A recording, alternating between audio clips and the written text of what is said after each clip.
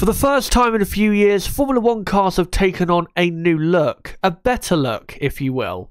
And of course, one thing of interest this time of year is the liveries of the cars, especially in a year like this. But who does have the best and worst liveries on the grid for 2022? Their original livery before the world turned toxic is easily the worst on the grid for pretty obvious reasons.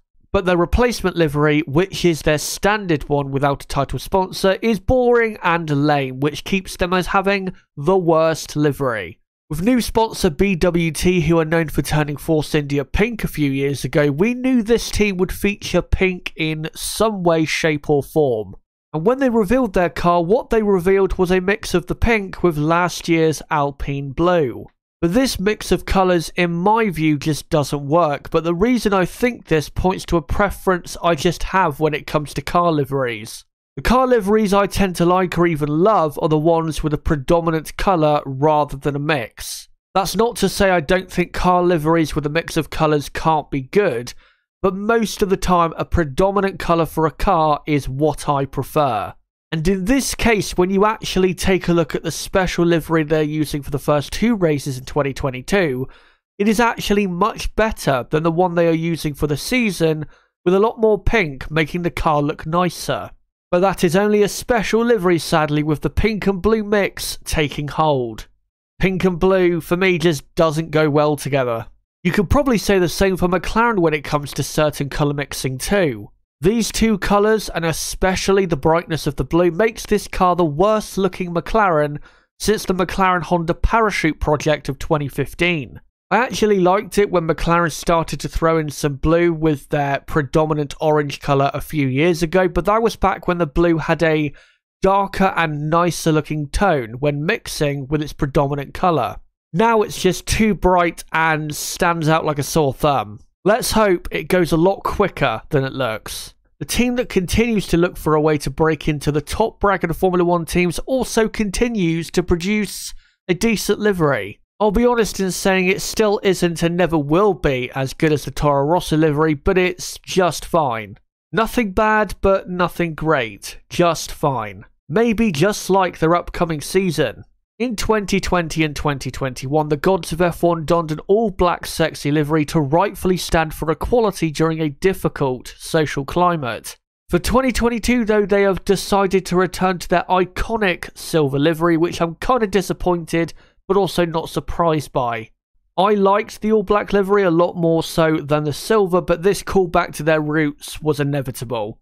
I've never really loved or really liked the silver livery, and it's always really been a 5 or a 6 out of 10 look. Whether it's silver or black, though, this team is still very much to be feared with more history in 2022 to be made for Mercedes. In a teaser video, we heard that Williams' new colour scheme would be more Williams. What we got was a 2001 Prost F1 car, which isn't necessarily bad. The Prost cars back then, in my opinion, actually looked quite decent, but what makes this better is that kind of colour scheme on these 2022 spec of cars. It looks a nice, nimble machine that hopefully pushes Williams further up the grid and more so back to where they belong. This team's progress or lack thereof might render them useless to many, but at least their liveries have been nice over the last few years, and this one certainly does not disappoint. This year's livery is made even nicer than the previous ones with its shade of red more predominant than before, and that will make this car certainly a looker in 2022.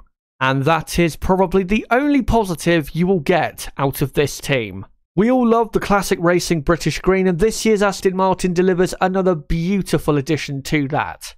Given the colours of the team, it is pretty hard to make a bad looking Aston Martin livery, so it didn't take much effort to come up with this attractive beast. Let's hope they start living up to their potential. We all could have guessed that the usual livery colours would be maintained, but that doesn't mean to say it doesn't look great.